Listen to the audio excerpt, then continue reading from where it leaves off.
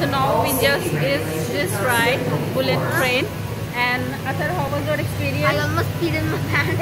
not, not, I'm not lying. It's actually, but it's actually pretty good.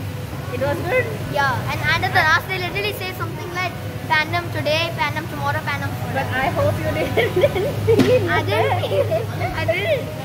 Okay, it was very nice. I was scared too, but yes, we enjoyed. Revolution will begin in 20 minutes at the Hollywood Now it's coming to the track rest of your day for speed. Now you can see it will go in front and then back. Yeah, it's going in front. Uh, you Uh, see it. It goes it- at tremendous speed. Uh, it's a feeling which you can feel after sitting only. Yes. Even So it will go forward, then go Actually, it's a- back, and then so many, so many turns. Yeah, and you basically turn down. Yes.